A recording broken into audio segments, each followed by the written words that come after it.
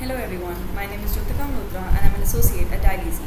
In this video I'm talking about section 65b of the Indian Penal Code which pertains to the admissibility of electronic records as evidence in legal proceedings. It establishes the conditions under which electronic records can be presented before a court of law.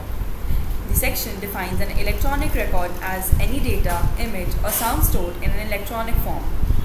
According to section 65b, any electronic record that satisfies the conditions laid out in the section shall be deemed to be a document and can be admitted as evidence in any court or legal proceeding. The admissibility of electronic records under sec- section 65b depends on the following conditions.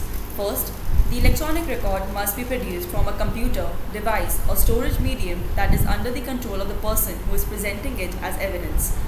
Second, the electronic record must be accompanied by a certificate in the prescribed form, signed by a person who is responsible for the operation of the relevant device, computer, or system.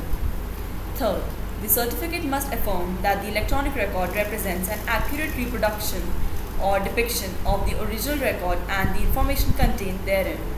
Fourth, the certificate should include specific details about the device or system used for creating, storing, or transmitting the electronic record.